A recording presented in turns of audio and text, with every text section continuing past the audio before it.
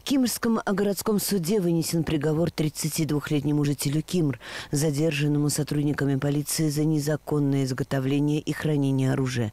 В результате оперативно-розыскных мероприятий, проведенных по месту жительства подсудимого, из незаконного оборота изъято 12 единиц огнестрельного оружия, более 10 основных частей оружия, свыше 500 патронов различного калибра.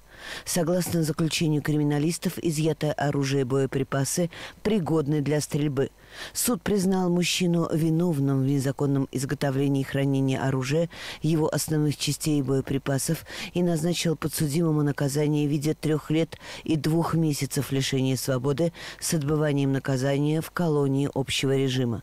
Статьи Уголовного кодекса, по которым признан виновным фигурант дела, предусматривают до пяти лет лишения свободы и штраф до 200 тысяч рублей, статья 223, по 220 22 статье до 4 лет лишения свободы со штрафом. В нашем регионе сотрудниками правоохранительных структур проводится большая работа по изъятию из незаконного оборота оружия и боеприпасов. Только в ходе недавней операции «Арсенал» возбуждены 13 уголовных дел. Полицейскими изъято свыше 60 единиц огнестрельного оружия, более тысячи патронов и почти полкилограмма пороха. В ноябре 2020 года в патрульной службе мы рассказывали о ликвидации ликвидации в Тверской области двух подпольных оружейных мастерских. Пресечена деятельность преступной группы. Кроме готового к реализации боевого оружия, силовиками изъяты две гранаты, два с половиной килограмма взрывчатых веществ, приборы для бесшумной стрельбы, более 500 боеприпасов различного калибра.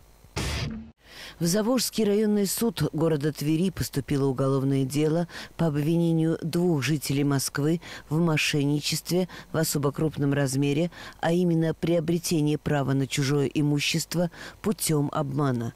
В период с 2013 по 2016 годы, действуя из корыстных побуждений, они использовали поддельную выписку из протокола общего собрания членов правления садоводческого товарищества, предоставив ее в единый государственный реестр.